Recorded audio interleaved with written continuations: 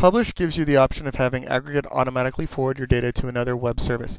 Currently, Aggregate supports moving your data to either Google Fusion Tables, Google Spreadsheets, or a JSON server. Like Export, you can access Publish functionality from multiple screens.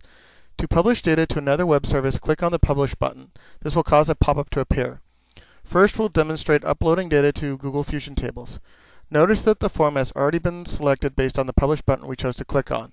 The first drop-down in the pop-up specifies the web service to send the data to. In this case, we want to publish our data to Google Fusion Tables. The text box is grayed out because it is not used for Google Fusion Tables. The second drop-down specifies the types of publishing you want Aggregate to perform. You can choose to upload only, stream only, or both. Upload existing submission data only means that Aggregate will send the current data to the web service, but will not continue to send data after it finishes. Stream new submission data only means that Aggregate will only send new data after the web service is created. No old data will be sent.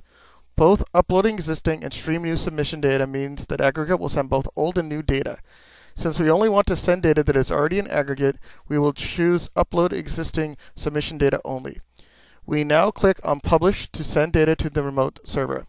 Note, you will be redirected to a web page because you must give Aggregate permission to make a Fusion table under your account.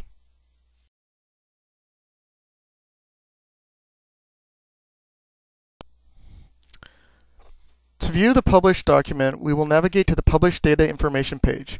Once the status says active, it is ready to view. You can view your published document by clicking on the link.